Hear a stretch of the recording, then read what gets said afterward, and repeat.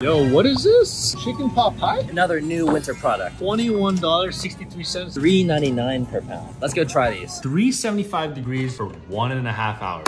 Into the middle rack we go. Finally ready, yo. Wow, we cooked this perfectly. Oh my.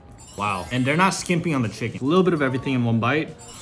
Mmm, I'm surprised. Dude, the carrots came out very soft. Uh, I think they put some green peas in here too. Everything is just a nice, perfect bite. And honestly, it's not bland at all. All right, I'm gonna go right with the pie. So I grew up on the pan-sized chicken pot pies too. And the chicken pot pies I always made were like hot on the outside and ice cold on the inside. This is gonna be the first time I'm having a fully warm, properly cooked chicken pot pie.